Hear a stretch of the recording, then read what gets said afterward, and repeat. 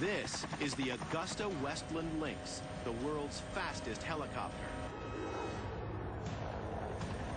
Military helicopters like these rely on a battery of sensors and cameras, which need specialized protection.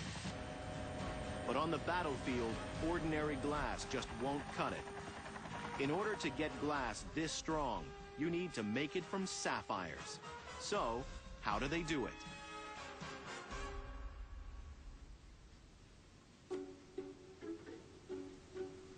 Sapphires are among the most highly prized gemstones. Their rarity means a natural sapphire the size of a pea can cost over $2,000. And even for a military helicopter, that's expensive protection. Thankfully, they've discovered a way to make synthetic sapphires.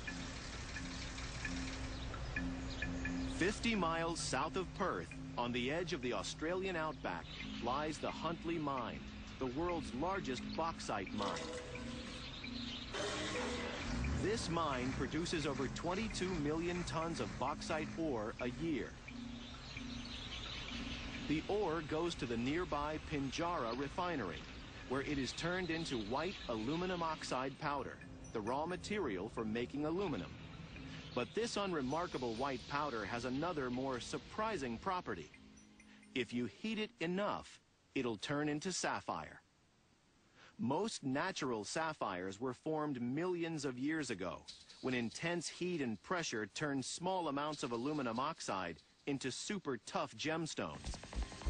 But a million years is a long time to wait for a piece of glass. So the powder is sent to the other side of the world, to Chicago, Illinois, where Rubicon technology can grow giant sapphires in just a week or two.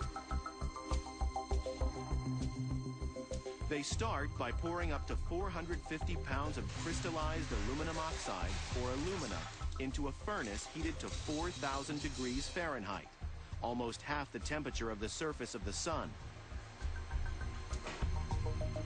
Next, a rod of sapphire known as the seed is lowered into the cauldron.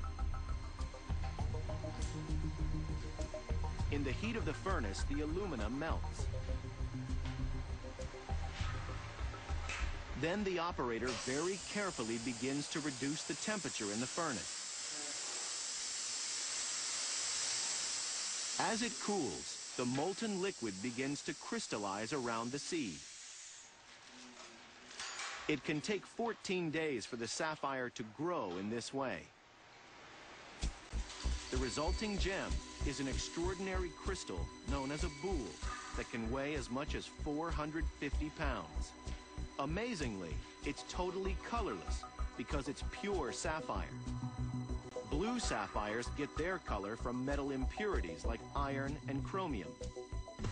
This giant gem might not impress your girlfriend if you put it on the end of her finger, but it's a perfect building block for anything that needs super tough glass.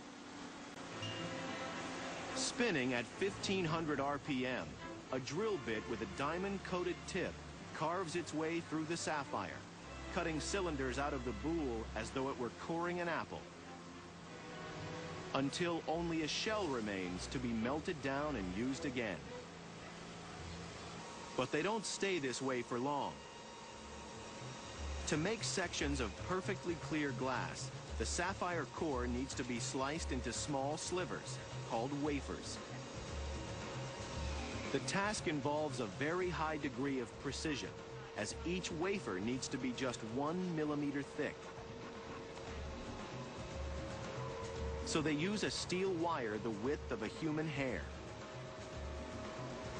Threaded across the core like a loom, the wire is capable of cutting 300 wafers simultaneously.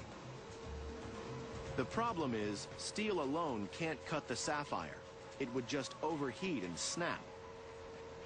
So an abrasive slurry filled with minute diamond particles is poured over the crystal. The wire is moved at 30 feet per second in a rocking motion across the surface of the cores.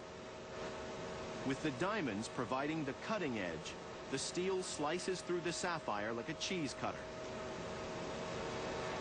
Which produces crystal clear sections that are used as glass panels for everything from watches to cameras. And before long, these sapphire glass panels will be available for high-strength windshields. Giving these military marvels even more protection from the extreme conditions on the battlefield.